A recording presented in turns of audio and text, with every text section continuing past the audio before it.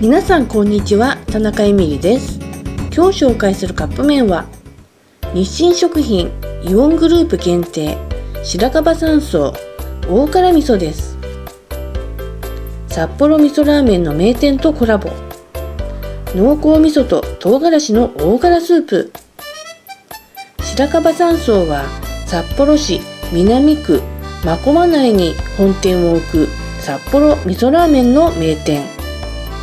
うまい一杯を多くの人にをコンセプトに人気店がひしめく札幌において不動の地位を確立しています。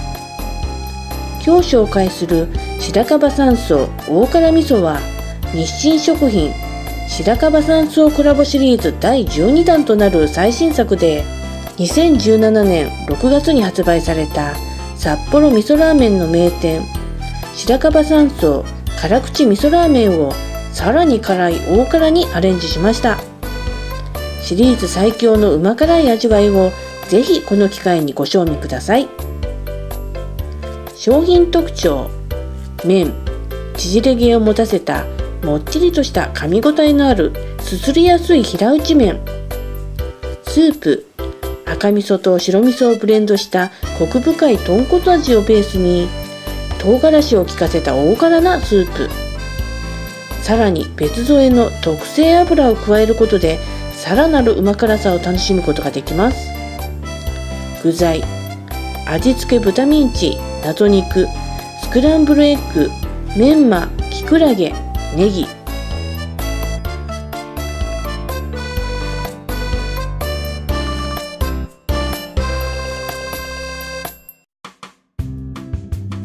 食べてみた感想。こってり濃厚な大辛味噌スープに別添えの特製油が濃い赤色を添えています。一口飲めば火を吹きそうな辛さ。そしてごまの風味が香るコクの深い美味しさです。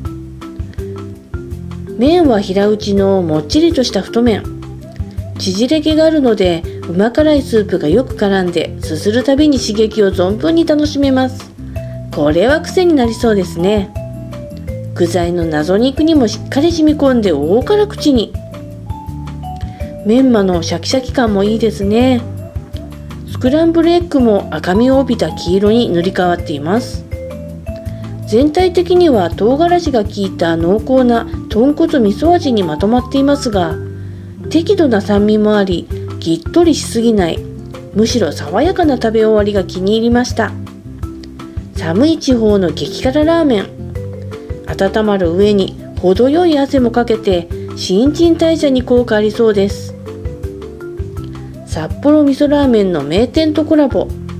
濃厚味噌と唐辛子の大辛スープ。本日は日清食品イオングループ限定。